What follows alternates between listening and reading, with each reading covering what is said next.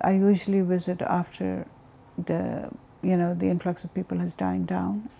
That's when grieving starts. That's when you are alone. And uh, because right after death, the person's presence is still very alive, right? It's just like, you know, when somebody goes on to a holiday, you still feel them around. And, and so um, that acceptance is still at a very fragile state.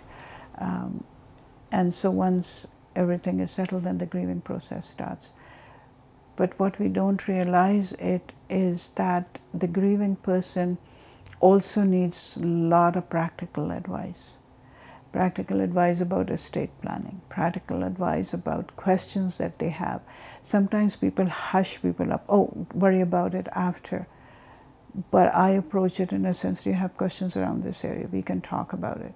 Uh, because that also gives them uh, some peace that you know the things are because just because they're grieving doesn't mean they're not worried about this stuff. Um, visiting the cemetery, um, I find, is very helpful. Um, you know, and I tell them you can talk to your loved one, and and some uh, Muslims will tell you, oh, that's not really right. But I'm not saying to them you will get an answer. But what I'm saying to them, you can express what you're feeling, um, and at some level, uh, it, it's helpful for them to let go. It's really about that. Um, and then, um, you know, the prayers, the special prayers that, uh, that our tradition says to, to give in charity. Um, and then keeping in touch, sometimes just through phones, phone calls, uh, asking them who, who do you really want to see? Because when the whole community comes to you for the first three days, that's great but who are you really close to? Who do you really want to see? Because you realize very soon uh, that there are certain members family doesn't want to see. There are people who are very probing, you know, and don't know the privacy boundaries.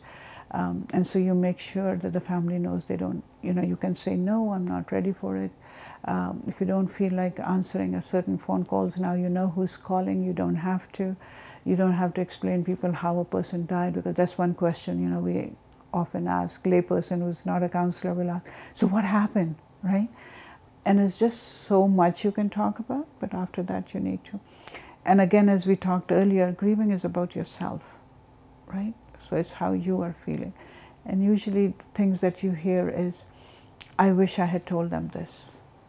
Why didn't I do this? Um, you know, they had asked for it you know, or I didn't spend much time.